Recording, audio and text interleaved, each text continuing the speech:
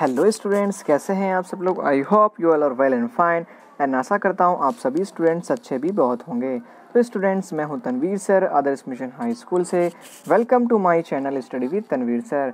तो स्टूडेंट्स आज हम इस वीडियो के अंदर class ninth subject social science का चैप्टर जो था, उसका पार्ट टू यहाँ पे स्टूडेंट्स हम देखने वाले हैं। ठीक है स्टूडेंट्स चैप्टर स्टूडेंट्स कौन सा था? तो चैप्टर हमारा फोर्टीन था, जिसका नाम है भारत के स्थल भूपृष्ठ उसकी रचना के विषय में उसका पार्ट टू यहाँ पे देखने वाले हैं। तो चलिए स्टूडेंट शुरू करते हैं। तो हमारा अगला टॉपिक था यहाँ पे चट्टान। एक या उससे अधिक खनिजों से बने संगठित ठोस पदार्थ को हम चट्टान कहते हैं। चट्टाने जो होती हैं कठोर और मृदु भी हो सकती हैं और कह सकते हैं यहाँ पे छिद्रालु और अछिद्रालु तो तथा वज़न में भारी एवं हल्की भी हो सकती हैं। विविध प्रक्रिया के कारण भिन्न भिन्न प्रकार की चट्टानों का निर्माण होता है। निर्माण प्रक्रिया के आधार पर चट्टानों को जो है वो तीन भागों में बांटा गया है। इसमें देख सकते हैं यहाँ पे पहला होता है अग्नि चट्टान, यानी दूसरा होता है परतदार और तीसरा होता है रूपांतरित। आंतरिक और बाह्य, यानी अग्नि को दो भाग में बांटा गया है, जिसमें आंतरिक और बाह्य। जो बाह्य जो होते हैं, वो ज्वालामुखी से बना होता है। आंतरिक मतलब यहाँ पे अंतस्थ और मध्य स्तर से बनने वाला है। उसके बाद दूसरा यहाँ पे दिया है परतदार, यानी चट्टान वाले पदार्थ से निर्मित, जिसके होते हैं तीन प्रकार, रीति की चट्टान, मिट्टी की चट्टान, अथवा तो कह सकते हैं यहाँ पे कंग लोम रीट की चट्टान, जिसे हम गोला शाम भी कहते हैं। उसके बाद नंबर टू यहाँ पे दिया रासायनिक पदार्थ से निर्मित चट्टान। तीसरा दिया है परतदार में जैविक पदार्थ, यानी चूना, दूसरा कह सकते हैं कार्बन। लास्ट है रूपांतरित चट्टान। तो स्थलीय रूपांतरित, यानी स्थल बदल से, बदलने से अथवा तो प्रादेशिक रूपांतरित यहाँ पे, ठीक है, ये दिया हुआ है। देखते हैं आगे। अब स्टूडेंट्स यहाँ पे हम चट्टान के जितने प्रकार दिए हैं सभी के बारे में विस्तृत विस्तृत जानकारी यहाँ पे ग्रहण करेंगे। तो आग्नेय चट्टान इन चट्टानों के निर्माण में भूगर्भ में रही प्रचंड गर्मी जो होती है उस, उसके जिम्मेदार होती है। अग्नि यानी कह सकते हैं गर्मी आग आग मतलब गर्मी होता है ना जिसको अगर संधि विच्छेद करोगे तो आप क्या मिलेगा? अग्नि मिलेगा आपको ठीक है?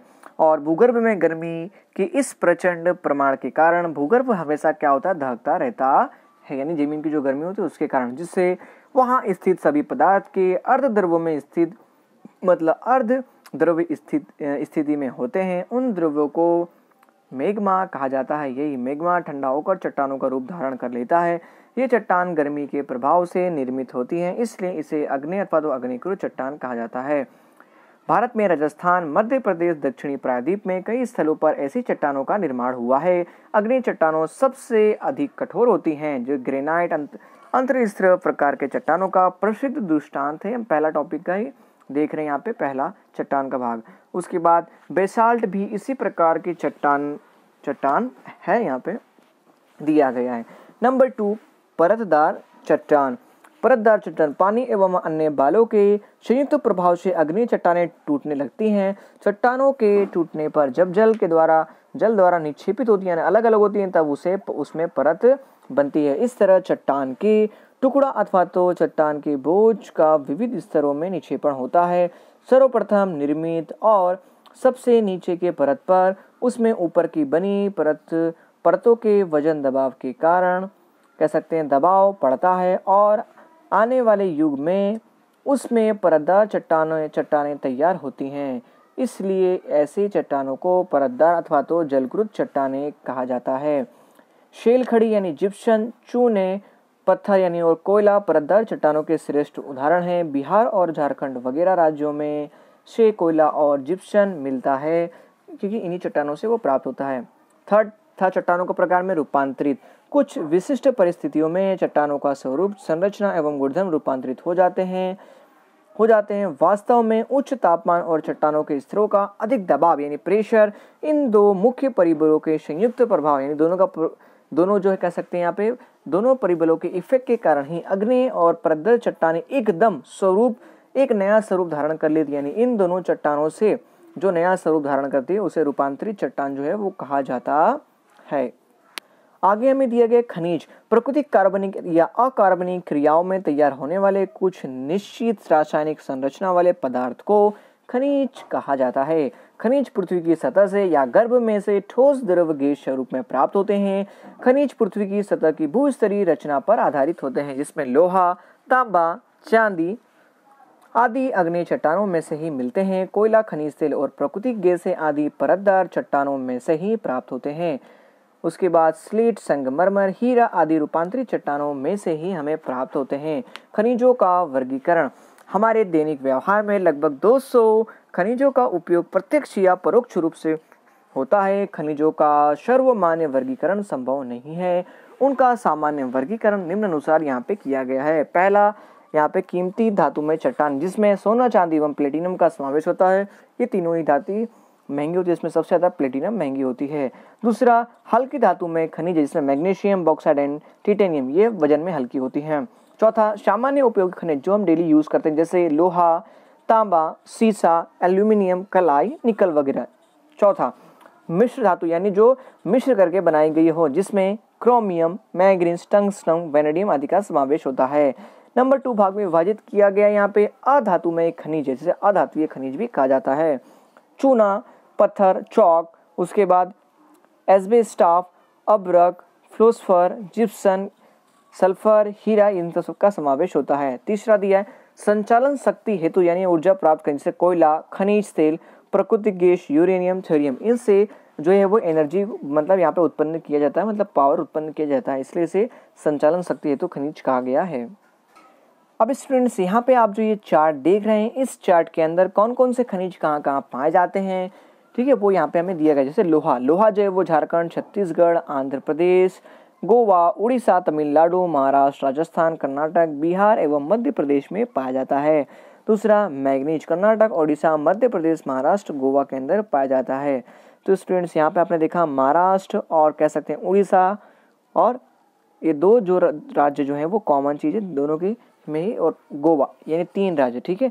कह सकते हैं आप महाराष्ट्र, गोवा, उड़ीसा। ये तीन जो है, वो दोनों में मैग्नीज भी, लोहा दोनों मिलता है। तांबा, ठीक है? आप सभी स्टूडेंट्स को जो कॉमन चीज़ है, वो सब याद रखनी, ठीक है? जैसे यहाँ पे महाराष्ट्र हो गया, गोवा, उड़ीसा, ये दोनों में आएगा। उसके बाद तांबा, गुजरात, कर्नाटक, आंध्र प्रदेश, उत्तर प्रदेश, सिक्किम, मेघालय, महाराष्ट्र, पश्चिम बंगाल में पाया जाता है। तो यहाँ पे स्टूडेंट्स हमें कॉमन चीज़ क्या मिला? तो यहाँ पे हमें कॉमन चीज़ जो है, कर्नाटक, तीनों में कॉमन चीज़ कर्नाटक मिल गया, महाराष्ट्र में मिला, ठीक है? और गुजरात यहाँ पे एक एक्स्ट्रा आ गया। उसके बाद चौथा बॉक्साइड का मिलता था बॉक्साइड जो है वो उड़ीसा, आंध्र प्रदेश, छत्तीसगढ़, महाराष्ट्र, गुजरात। यानी स्टूडेंट्स कह सकते हैं, महाराष्ट्र के अंदर लोहा, मैग्नीज, तांबा सब चीज़ ही पाया जाता है। ठीक है? और उड़ीसा के अंदर भी पाया जाता है। ठीक है? लेकिन उड़ीसा में तांबा जो है वो नहीं प्राप्त होता है। उसके बाद सीसा। सीसा मतलब यहाँ पे कांच से है। ठीक है? राजस्थान, आंध्र प्रदेश, तमिलनाडु, पश्चिम बंगाल, मध्य प्रदेश, उत्तर प्रदेश, उड़ीसा, महाराष्ट्र, मेघालय, सिक्किम, गुजरात के अंदर जो है ये पाया जाता है। छठा में दिया अब्रक। आंध्र प्रदेश, राजस्थान, बिहार, झारखंड में पाया जाता है चूना पत्थर। मध्य प्रदेश, छत्तीसगढ़, आंध्र प्रदेश, राजस्थान, गुजरात, कर्नाटक, हिमाचल प्रदेश में जो वो चूने यहाँ पे मतलब उसके क्षेत्र यहाँ पे हैं, चूने के क्षेत्र वाले राज्य। नेक्स्ट हमें दिया मिट्टी और उसका विवरण। विद्यार्थियों, आप जानते हैं कि मिट्टी कृषि के लिए महत्वपूर्ण संसाधन है। कृषि काय के उपरांत यह मिट्टी अत्यंत ही महत्वपूर्ण है। ज़मीन पृथ्वी की सतह पर स्थित जैविक एवं अजैविक पदार्थों से निर्मित एक पतला स्तर है, जिस तरह किसी सेब एवं उसके पतले छिलके के साथ संबंध होता है, ठीक उसी तरह पृथ्वी की सतह के साथ मिट्टी का भी संबंध होता है। पृथ्वी की पपड़ी के ऊपरी पतले स्तर को मिट्टी कहा जाता है। मिट्टी का निर्माण किस तरह होता है, वो हम यहाँ पे देखेंगे। मिट्टी चट्टानों के विखंडन से जन्मी है, एवं चट्टानों के सतह वाले भागों का ताप, बरसात, हिम, हवा वनस्पति और जीव वनस्पति आदि परिबलों से विखंडन होने से चट्टानों का चूर्ण बनता है और भूमि आवरण बनता है। हम इस भूमि आवरण में चट्टानों के छोटे बड़े टुकड़े, कंकड़, रज आदि होते हैं, जिसे यहाँ पे रेगोलित कहा जाता है, जिसमें केवल खनिज द्रव्य होते हैं। उसके पश्चात उसमें जैविक द्रव्य, हवा और पानी मिलते हैं। अंत में उसमें मिट्टी बनती है, जिससे मिट्टी का निर्माण की यह प्रक्रिया दीर्घकालीन है। उसके बाद स्टूडेंट्स मिट्टी के प्रकार यहाँ पे हम देखने वाले हैं। तो यहाँ पे भारत की मिट्टी को निम्नलिखित छह भागों में बांटा गया जिसमें पहला काँप की मिट्टी, काली मिट्टी, लाल मिट्टी लेटेराइड मिट्टी, पर्वतीय मिट्टी और मरुस्थलीय मिट्टी यहाँ पे बांटा गया है। अब स्टूडेंट्स आगे यहाँ पे हम मैप देखने वाले हैं, जिसके अंदर स्टूडेंट्स यहाँ पे कौन कौन सी मिट्टी कौन कौन से राज्य में पाई जाती है, वो यहाँ पे स्टूडेंट्स हम हम देखने वाले हैं। तो जैसा कि स्टूडेंट्स आप ये नक्शा देख पा रहे हैं तो स्टूडेंट्स यहाँ पे कौन कौन सी मिट्टी कौन कौन से राज्य में पाई जाती है, यहाँ बताया गया जैसे पीले रंग की मिट्टी हुई, इसका मतलब ये काँप की मिट्टी, ठीक है? और हल्की पिंक यहाँ पे हुई तो ये कह सकते हैं काली मिट्टी, रेड हुई तो लाल रंग की मिट्टी, ग्रीन हुई तो लेटराइड मिट्टी, ठीक है? चॉकलेटी हुई तो पर्वतीय मिट्टी, और अगर कह सकते हैं हमें यहाँ पे, ब्लू हुई तो रेगिस्तानी मिट्टी। तो रेगिस्तानी मिट्टी जो है वो राजस्थान में मिलती है, बाकी लाल मिट्टी जो है वो पंजाब उसके बाद उत्तराखंड, उत्तर प्रदेश सॉरी, उत्तराखंड में नहीं, ठीक है? उत्तराखंड है, उसमें नहीं पाई जाएगी। कहाँ देखने मिलेगा? आपको उत्तर प्रदेश, बिहार ठीक है, पश्चिम बंगाल और राजस्थान के अंदर भी है, गुजरात में भी हमें काली ज़मीन जो है वो देखने को मिलती है। लाल ज़मीन तो स्टूडेंट यहाँ पे देख रहे हैं आप, अरुणाचल प्रदेश हो गया, सिक्किम हो गया, मेघालय हो गया, ठीक है, ये सब जगह में। और कुछ पार्ट जो है वो उड़ीसा के अंदर भी यहाँ पे आया हुआ है, ठीक है तो ये कह सकते हैं। उसके बाद कर्नाटक, तमिलनाडु, आंध्र प्रदेश के अंदर यहाँ पे हैदराबाद में भी देखने को मिल रहा है और कुछ यहाँ पे महाराष्ट्र में भी है। ओके, लेटेराइट ज़मीन जहाँ पे देखेंगे तो ये कुछ भाग जो है मध्य प्रदेश के अंदर भी है ठीक है स्टूडेंट्स और कुछ भाग पश्चिम बंगाल में भी है। और उसके बाद कुछ यहाँ पे महाराष्ट्र में, कुछ कर्नाटक के अंदर भी यहाँ पे आया हुआ है। ठीक है? यानी केरल के अंदर कह सकते हैं। ठीक है? ये केरल। उसके बाद स्टूडेंट्स यहाँ पे आगे पर्वतीय तो पर्वतीय जो है वो जम्मू कश्मीर और उत्तराखंड के अंदर पर्वतीय ज़मीन पाए गए। दूसरा अरुणाचल प्रदेश में भी है यहाँ पे। ठीक है? उसके बाद आगे यहाँ पे दिया है रेगिस्तानी ज़मीन। तो हमने देखा यहाँ पे सिर्फ़ राजस्थान में देखने को मिलती है। अब स्टूडेंट्स यहाँ पे हम प्रत्येक ज़मीन के बारे में विस्तृत जानकारी प्राप्त करने वाले हैं। तो स्टूडेंट्स हर साल बोर्ड में पूछा जाता है, मिट्टी के प्रकार बताइए और उसे समझाइए। तो किसी भी दो या तीन मिट्टी के बारे में पूछ लिया जाता है, साथ ही मिट्टी के प्रकार पूरे लिखने होते हैं, तीन मार्क्स का सवाल आता है। तो चलिए शुरू करते हैं। पहला दिया है काँप की मिट्टी।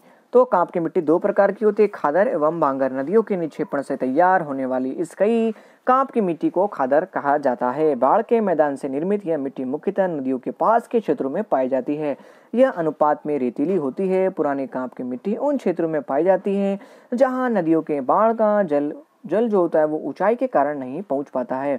इस प्रकार की मिट्टी को बांगर कहते हैं। यह चिकनी और गहरे रंग की होती है। काँप मिट्टी देश के बहुत बड़े क्षेत्र में पाई जाती है। उसके बाद इस मिट्टी को उर्वरित उर्वरक शक्ति जो इसकी उर्वरा शक्ति अलग स्थलों अलग अलग स्थलों पर भिन्न भिन्न होती है, परंतु सामान्यतः यह मिट्टी अत्यंत उपजाऊ होती है, जो पंजाब, उत्तर प्रदेश, बिहार, पश्चिम बंगाल के राज्यों में इसी प्रकार की मिट्टी देखने को मिलती है, जो हमने मैप में देखा। नंबर टू, काली मिट्टी दिया गया। यह मिट्टी मुख्य रूप से महाराष्ट्र, पश्चिमी, यानी पश्चिम बंगाल, मध्य प्रदेश, गुजरात, कर्नाटक, आंध्र प्रदेश, तेलंगाना, तमिलनाडु में पाई जाती है। काली मिट्टी प्रायद्वीपी पठारी प्रदेश की जो है वो भेंट है। यह मिट्टी चिकनी और नमी संचित करने वाली होती है। लंबे समय तक नमी धारण करने की क्षमता ये रखती है। यह मिट्टी रूपांतरित चट्टानों का तैयार, के द्वारा तैयार हुई है और कपास की फ़सल के लिए अत्यंत ही अनुकूल है। इसलिए हमारे गुजरात में कपास जो है वो ज़्यादा होता है। यह कपास की काली मिट्टी के नाम से भी जानी जाती है। यह मिट्टी रेगड़ नाम से भी पहचानी जाती है। नेक्स्ट हमें दिया हुआ तीसरा पॉइंट यहाँ पे लाल मिट्टी। अग्नि और रूपांतरित चट्टानों वाले क्षेत्र में लाल मिट्टी आई हुई है। लोह तत्व एवं अन्य खनिज तत्वों के कारण यह ज़मीन का रंग जो रंग, रंग जो है वो लाल दिखाई देता है। यह ज़मीन अनुपात में छिद्रालु और उपजाऊ होती है। गोवा तमिलनाडु कर्नाटक आंध्र प्रदेश ओडिशा झारखंड के कई भागों में लाल मिट्टी दिखाई देती है।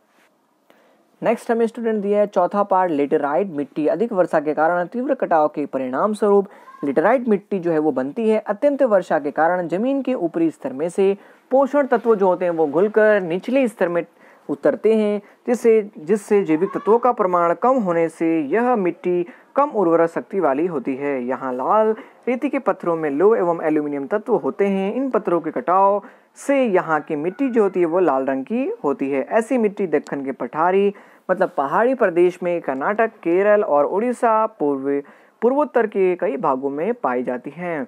नंबर फाइव, पर्वतीय मिट्टी। यानी पर्वत से आने वाली मिट्टी कह सकते हैं, पर्वत की मिट्टी। जंगलों के कारण जैविक द्रवों का प्रमाण अधिक बढ़ा है, जबकि अलग अलग स्थलों पर भिन्नता भी देखने को मिलती है। शिवालिक पर्वत श्रेणी पर यह मिट्टी कम उर्वरक एवं अपरिपक्व लगती है। यह मिट्टी रेतीली और छिद्रालु और जैविक द्रवों की कमी वाली होती है। ऐसी मिट्टी देश के पर्वतीय क्षेत्रों में होती है और साथ ही मेघालय, अरुणाचल प्रदेश, पूर्वी पर्वत श्रेणियाँ, उत्तराखंड, हिमाचल प्रदेश, जम्मू कश्मीर, लद्दाख केंद्र शासित प्रदेशों में ऐसी मिट्टी होती है।